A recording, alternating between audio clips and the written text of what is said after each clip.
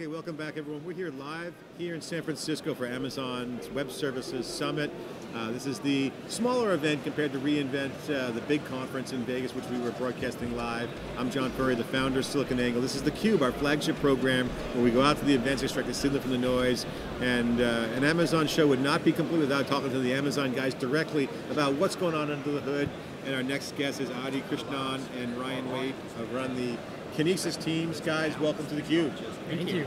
So we, Dave Vellante and I, who's not here, unfortunately has another commitment, but we were going gaga over the Kinesis. We love Redshift, we love what's going with the data. I see Glacier is a really low-cost option to store stuff, but when you start adding on Redshift and now Kinesis, you're adding in some new features that really kind of really point to where the market's going, which is I need to deal with real-time stuff. I need to deal with a lot of data. I need to manage it effectively. I need low latency across any work use case.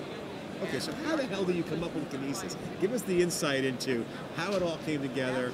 We love the real time. We love how it's all kind of closing the loop, if you will, for a developer. Um, and just take us through how it came about. What are some of the stats now post reInvent? Share with us. Well, the uh, the genesis for Kinesis was trying to solve our metering problems. The, the metering problem inside of AWS is how do we keep track with how our customers are using our product. So every time a customer does a read out of DynamoDB, or they uh, read a file out of S3, or they do some sort of uh, transaction uh, with any of our products, that generates a metering record. It's tens of millions of records per second and uh, tens of terabytes per hour. So it's a, a big workload. And what we were trying to do is understand how to transition from being a batch-oriented processing workload, where we are using large Hadoop clusters to process all that data, to uh, a continuous processing model, where we could read all of that data in real time and make decisions on that data in real time. So you basically had to create an aspirin for yourself. You kind of had yeah. a little pain point internally, right? Yeah, Kinesis you know? is kind of an example of us building a product to solve some of our own problems first, uh, and then making that available to the public. Okay, so when you guys do your Amazon thing, which I've gotten to know about a little bit of the culture there, you guys kind of break stuff, kind of the quote Zuckerberg. You guys built, kind of invented that philosophy. You know, moving stuff good quickly, iterating fast. So you solve your own problem. And then was there an aha moment like, hell, damn, this is good. We could bring it out to the market. What were customers asking for at the same time? Was it kind of a known use case? Did you bring it to the market? What happened next? We spent a lot of time talking to a lot of customers. I think that was kind of the, the, the gist of it. Uh, we had customers from all different sorts of industry verticals, uh, financial services, uh, consumer online services, from manufacturing, from digital ad tech, come up to us and say, we have this canonical workflow. This workflow is about getting data of all of these producers, uh, the sources of data, figuring out a way to aggregate that data, and then driving it through a variety of different processing systems to ultimately light up different data stores. Uh, these data stores could be native to AWS stores like S3, DynamoDB. Uh, they could be uh, more interesting, uh, higher end data warehousing services uh, like Redshift. Mm-hmm. But the key thing was how do we deal with all this massive amount of data that's being produced in real time, ingest it reliably, scale it elastically, and enable continuous processing on that data you know, we always love the word elastic. It's a you know a term that, that you guys have built your business around. Being elastic it means some, it means you have a lot of flexibility, and that's a key part of being agile. But I want you guys to, while we're here on the cube, define kinesis for the folks out there. What the hell is it? Define it for the record, and then I have some specific questions I want to ask. Uh, so Kinesis is a new service for processing huge amounts of streaming data in real time. Short and simple. It scales elastically, so as your data volume increases, or decreases, the service grows with you. And you so like a Node.js error log or an iPhone data. This is an example. Would this be example of streaming? Yeah, exactly. You can imagine that you were tailing a whole bunch of logs coming off of servers. You could also be watching event streams coming out of uh, little Internet of Things type devices. Uh, one of our customers we're talking about here is, uh, is Supercell, who's capturing uh, in-game data from their game Clash of the Clans. So as you're playing Clash of the Clans and you're tapping on the screen, all of that data is captured in Kinesis and then processed by, uh, by Supercell. And this is validated. I mean, obviously, you mentioned some of the use cases, Internet of Things, which is a sensor network to wearable computers to whatever, mobile phones, and obviously event data coming off machines. So you got machine data, you got human data, you got application data. That's kind of the data sets we're seeing with Kinesis, right? right. Diverse set. Um, also traction with trends like Spark out of Berkeley, you're seeing in memory. Does this mm-hmm. kind of kind of is this in your wheelhouse? How does that all relate to? Because you guys have purpose-built SSDs now on your new EC2 instances and all this new modern gear we heard in the announcements. How does all the in-memory stuff affect the Kinesis service? It's a, a great question. I, what you can imagine is Kinesis as being a great service for capturing all of that data that's being generated by you know hundreds of thousands or millions of sources. It gets uh, sent to Kinesis where we replicate it across three different availability zones.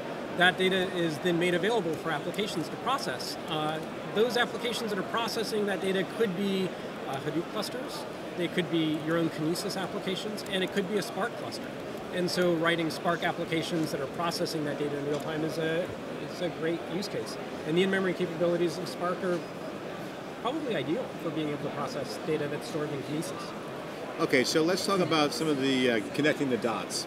So Kinesis works in conjunction with what other services are you seeing that is being adopted most right now? Now, so I mentioned Redshift, I'm just throwing that in there. I see data warehousing like tool, seeing a lot of business intelligence. So basically people are playing with data, a lot of different needs for the data. So how does Kinesis connect through the stack? I think the, uh, the number one use case we see is customers capturing all of this data and then archiving all of it right away to, S3.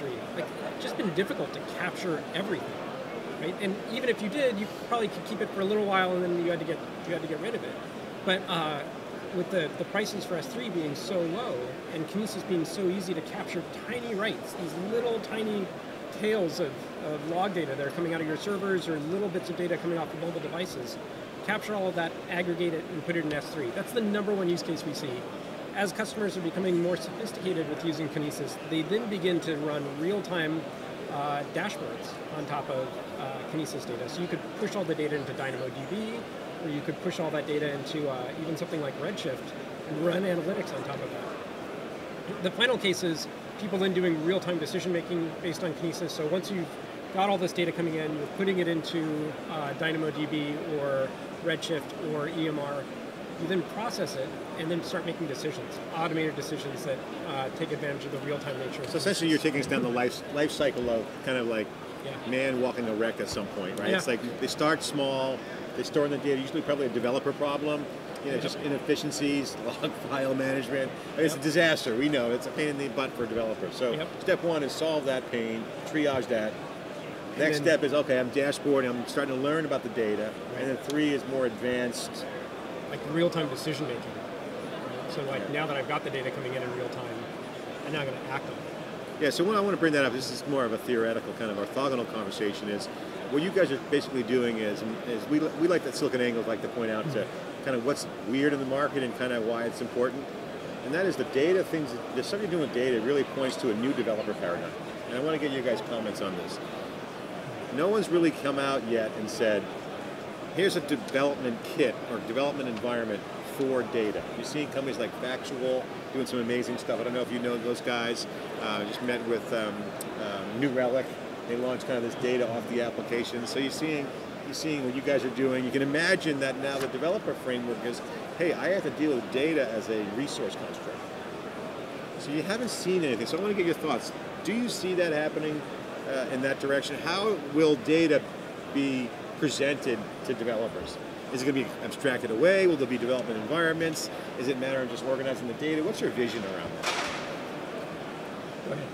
So th- that's a really good question because we've got customers that come up to us and say, I want to meld real-time data with batch processing. Or I have my data that is right now lots of little data, and now I want to go ahead and aggregate it to make sense of it over a longer period of time. And there's a lot of theory around how data should be modeled, how data should be represented.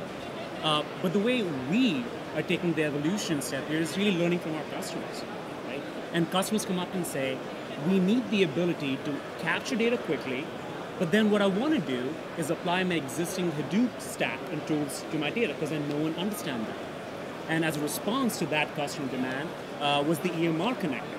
So now customers can use, say, Hive queries or cascading scripts and apply that to real-time data that Kinesis is ingesting. Another response to customers was that, that some customers said we really like the, the, the stream processing construct of Storm. And so our, our step over there was to say, okay, we ship the Kinesis Storm spout. So now customers can bring their choice of paradigm in and meld that with Kinesis. So I think the, the, the short answer there right now is that you know the key thing It's is to learn from customers. It's early. It's, it's early. It's really early, I, right? I would also add, like, like just with uh, as with Hadoop, there's so many different ways to process data. In the real-time space, there are going to be so many different ways that people process that data. There's never going to be a single tool that you use for processing real-time data. It's a lot of tools, and it adapts to the way that people think about data. So this also brings us back to the DevOps culture, which you guys essentially founded at Amazon early in the early days. And you know, I got to give you credit for that. You guys deserve it. DevOps was was really about building from the ground up the cloud, which post.com bubble really, if you think about it, that's Amazon's. You, you lived your own your own world, right, to survive with less and, and help other developers. But that brings up a good point, right? So, okay, if data is early, and I'm now going to be advancing slowly, can there be a single architecture for dealing with data? Or is it going to be specialized systems? You're seeing Oracle made some, has made some little progress with engineered systems. You're seeing integrated stacks work. So what's the take on the data equation? Not just Hadoop, there's other data out there. It's like Right. the Internet of Things data. What is the preferred architecture right now? I think what we're going to see is a set of patterns that begin to evolve, and people will be using those patterns for doing particular types of processing. Uh, one of the other teams that I run at AWS is the fraud detection team. We use a set of machine learning algorithms to be able to continuously monitor usage of the, the cloud to identify patterns of behavior which are indicative of fraud. Um, that kind of pattern of use is very different than I'm doing clickstream analysis, right? And the kind of pattern that we use for doing that would, would naturally be different. I think we're going to see a canonical set of patterns. I don't know if we're going to see a very particular set of technologies though. Yeah, so that brings us back to the DevOps thing. So, uh, Adi, I want to get your take on this because DevOps is really about efficiencies. Software guys don't want to be hardware guys. At the end of the day, that's how it all started. I don't want to provision the network. I don't want to stack the servers. I just want to push code. And then you guys have created some really easy ways to make that completely transparent. Uh, but now you're talking about composite application development. You're saying, hey, I'm going to have an EMR over here for my Hadoop cluster, and I'm going to deal with some maybe fraud detection stream data. It's going to be a different system than Hadoop, or it could be a relational database. Now I need to basically compositely build an app. That's what we're talking about here, composite construction of resource. Is that kind of the new DevOps 2.0? I mean, because what I'm trying to tease out here is what's next after DevOps? I mean, DevOps really means there's no operations. And how does a developer deal with these kinds of complex environments like fraud detection, maybe application here, a container for this pass? So is it going to be fully composite? Well, I don't know if we run the full circuit with the DevOps uh, development model. It's a great model. It's worked really well for a number of, of startups. However, making it easy to be able to plug different components together, like it's just a great idea. So, like as Adi mentioned just a moment ago, our ability to take data in Kinesis and pump that right into uh, Elastic MapReduce, that's great, and it makes it easy for people to use their existing applications with a new system like Kinesis. That kind of you know composing of applications, it's worked well for a long time, and I, think you're just going to see us continuing to do more and more of that kind of work. So I got to ask both of you guys a question. Give me an example of when something broke internally. This is not an aside. I'm trying. I don't want to go negative here, but you got. Your part of your culture is is to move fast, iterate. So when you these important projects like Kinesis, give me an example of like that was a helpful way when you guys stumbled. What did you learn? What was the key pain points of the evolution of getting it out the door? Uh, and what key things did you learn from either success or kind of a speed bump or uh, you know failure along the way? Well, I think uh, I think one of the first things we learned right after we shipped uh, Kinesis, and we were still in a, a limited preview, so we were we were trying it out with our customers. We were getting feedback and learning what uh, what they wanted to, to change in the product. Uh, one of the first things that we learned was that the uh, the amount of time that it took to put data into Kinesis and receive a return code was too high for a lot of our, our customers. It was probably around 100 milliseconds uh, for the time that you put the data in to the time that we've replicated that data across multiple availability zones and returned success to the client.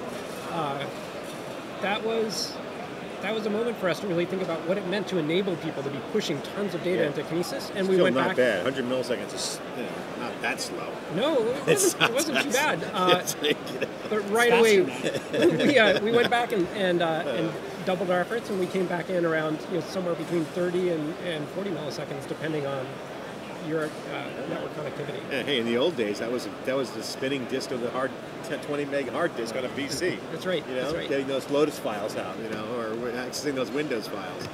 So you guys improve performance. So that's an example you guys done that. What's the biggest surprise that you guys have seen from a customer use case that was kind of like, wow, this is really something that we didn't see happening on a, on a larger scale that caught you by surprise? Uh, surprising use case. Yeah, I, it I, could be a corner use case, like, wow, I never figured that. You know, I, I would say like uh, some of the one thing that actually surprised us was how common it is for people to have multiple applications reading out of the same stream.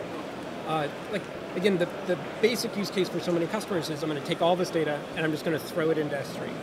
Uh, and we kind of envisioned that uh, there might be a couple of different applications reading data out of that stream. But we, we have a couple of customers that actually have uh, as many as three applications that are reading that stream of events that are coming out of Kinesis. Each one of them is reading from a different position in the stream. They're able to read from different locations, process that data differently, but uh, but the idea that Kinesis is so different from traditional queuing systems and yet provides uh, real-time functionality that, and, and, that multiple applications can read from it. That was that was a bit of a. All right. So who's the shift. number one use case right now? Who's adopting Kinesis? If you're watching, folks watching out there, get the Kinesis Brain Trust right here within Amazon.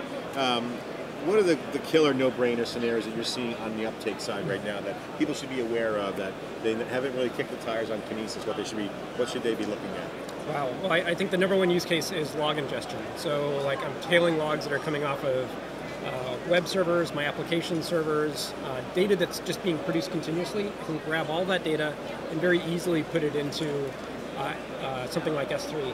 The beauty of that model is I now have all the log data, and I got it off of all of my hosts as quickly as possible, and I can go do log dives later if there's a problem.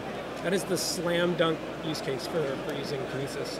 Uh, there are other scenarios that are beginning to emerge as well. I don't know, Adi, if you want to talk yeah, about some the, of the more the other one cases. that's uh, that's very interesting, and lots of customers are doing so already, is emit data from all sorts of devices. So this is de- these devices are not just your smartphones and tablets that are practically full form computing machines, but also seemingly low power, seemingly dumb devices. Yeah. And the desire remains the same. There are millions of these out there and having the ability to capture the data that they produce in real time is key.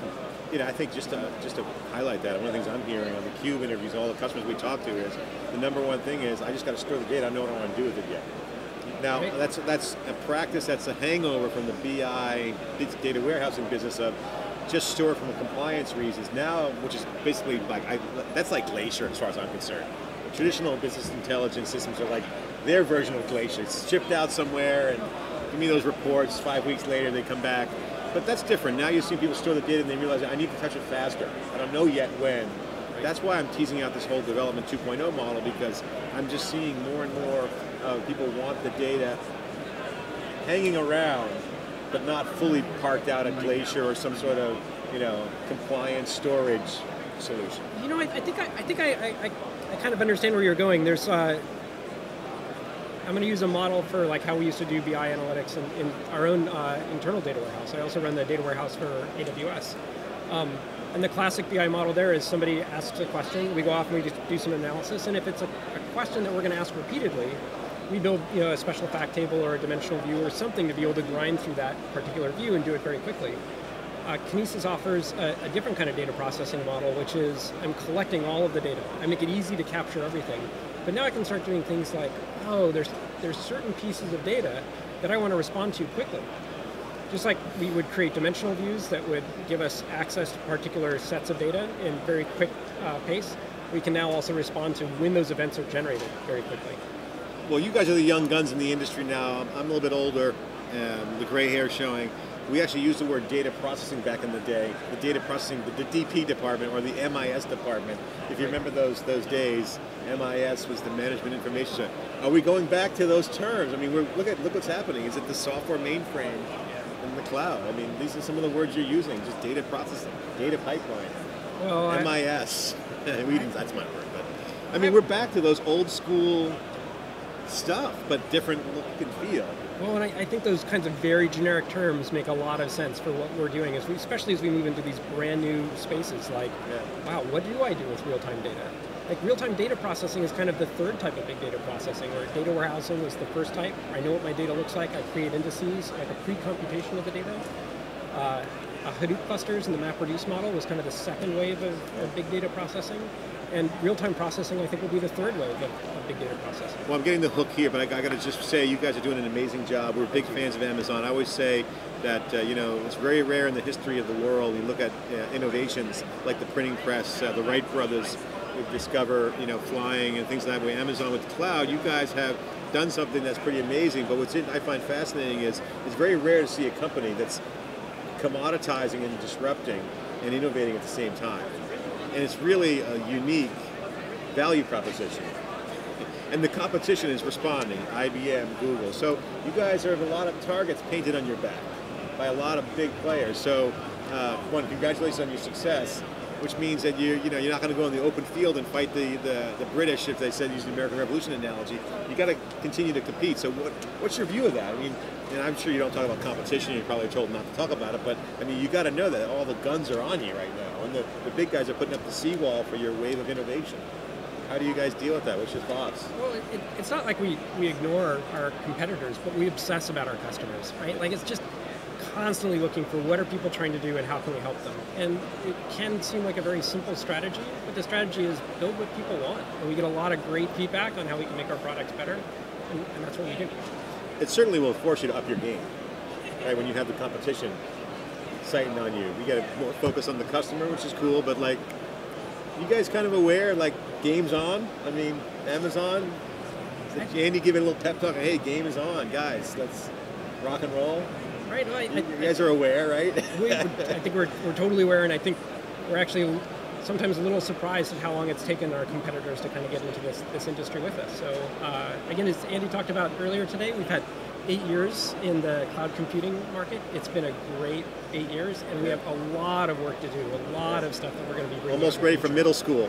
Um, final final question for you guys, and we'll give you the final word here. Share with the folks, and the last word is why is this show so important right, at this point in time in this market? Why is this environment of, of the thousands of people here learning about Amazon? Why? What should they know about why this is such an important event?